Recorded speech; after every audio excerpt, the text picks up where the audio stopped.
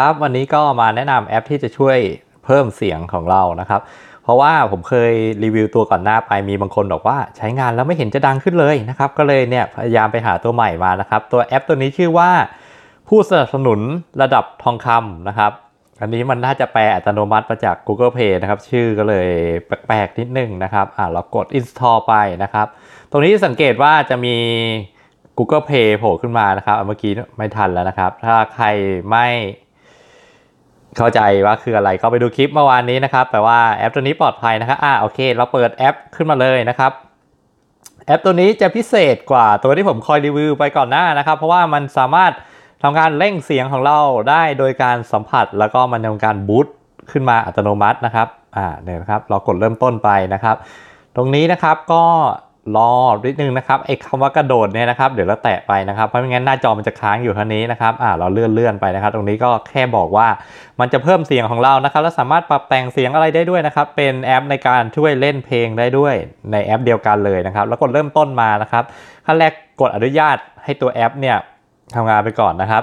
เห็นปุ่มรูปจรวดกลางจอไหมครับนี่นะครับ คือปุ่มที่เราจะต้องกดเพื่อให้ ตัวแอปนะครับ มันช่วยเร่งเสียงของเครื่องของเรานะคะให้ดีขึ้นดังขึ้นนะครับ ถ้าขึ้นบนหน้าจอขาวแบบนี้นะครับ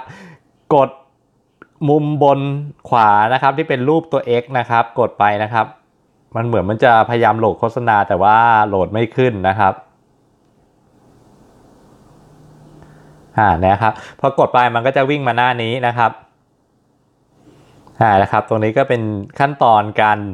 เร่งเสียงนะครับอ่าตอนนี้เขาบอกว่าเร่งเสียงที่ดังเกินไปอาจจะทำให้ไม่ปลอดภัยต่อหูไม่เป็นไรก็แค่เตือนปกติของตัว Android นะครับอ่าหน้านี้นะครับเราก็กดแบ็กกลับมานะครับ แล้วก็เสียงต่างๆที่มันทำการเร่งมาเนี่ยครับถ้าสมมุติว่าเฮ้ยเราว่ามันดังเกินไปเราสามารถทำการปรับแต่งแต่ละตัวได้ โดยที่เลือกมาที่แท็บนี้นะครับเนี่ยครับพวกสื่ออะไรเนี่ยก็คือมันเป็น เอ่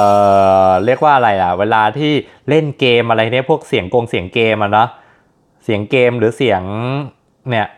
นะครับพวกเสียงเกมพวกอย่างเนี่ยจะอยู่ในสื่อนะครับ ระบบก็คือเสียงแจ้งเตือนต่างๆของ Android นะครับ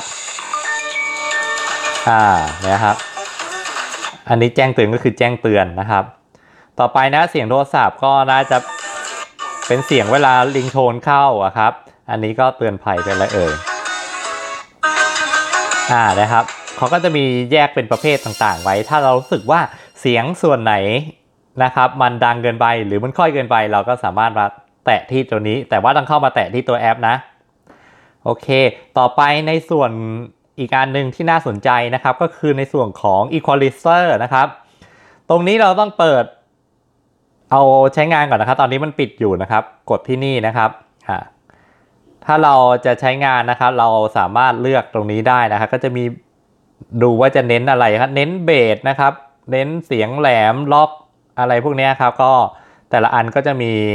รูปแบบเสียงไม่เหมือนกันนะครับ แล้วก็แอปตัวนี้อย่างที่ผมบอกว่ามันเป็นแอปที่ใช้ในการเล่นเพลงไปได้ด้วยนะครับ ซึ่งวิธีการเล่นเพลงก็คือมาที่แท็บสุดท้ายนะครับแท็บที่ 4 เราสามารถกดลองดูได้มันก็จะเป็น Visualize ขึ้นมาที่แบบสวยงามนะครับ แต่ในเครื่องผมไม่มีเพลงครับ ก็มันก็เป็นพวกไฟล์เสียงเกมอะไรต่างๆเนี่ยมันก็จะขึ้นเป็นแบบนี้นะครับ ซึ่งถ้าใครมีเพลงแล้วสามารถก็เปิดเพลงตรงนี้ แล้วก็ดู Visualizer ไปด้วยนะครับก็เพลินดีนะครับ แล้วก็ใช้ควบคู่กับตัว Equalizer ตรงนี้นะครับก็จะทำให้ได้เสียงที่มันดีขึ้น แนะนำนะครับตัว Equalizer เนี่ยแล้วใช้หูฟังฟังนะ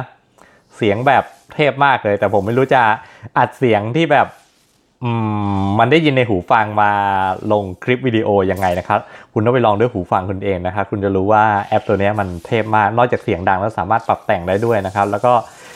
บอกเลยว่าดีกว่าแอปแต่งเสียงนะครับเร่งเสียงที่ผมเคยรีวิวมาก่อนหน้านี้ รู้สึกจะมี 2 ตัวมั้งที่เคยรีวิวมาบางคนบอกว่า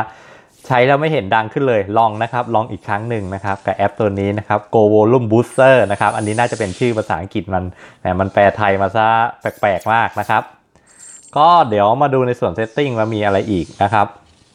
Setting ก็ไม่น่ามีอะไรครับ อันแรกก็เป็นแค่เป็นการสร้าง shortcut นะครับ มาใส่ไว้ที่หน้าจอแค่นั้นเองนะครับ อันอื่นก็ไม่มีอะไรละ อาจจะมีโฆษณาขึ้นรำคาญบ้างแต่ก็ไม่มีมากนะครับ ก็น่าจะมีประมาณเหมือนที่ผม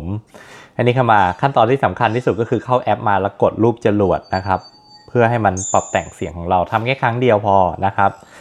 แล้วก็ขอให้ได้รับประโยชน์จากคลิปนี้นะครับ ใครที่ยังไม่ได้กด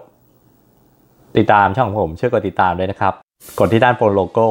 บนตัวหนังสือนี้เลยนะครับอย่าลืมกดลูกกระดิ่งด้วยครับจะรับแจ้งเตือนเวลาที่ผมลงคลิปใหม่นะครับจะได้ไม่พลาดไลค์แล้วก็ไม่พลาดคลิปวิดีโอใหม่ เข้ามาชมก่อนใครนะครับ แล้วพบกันใหม่ในคลิปหน้า สวัสดีครับ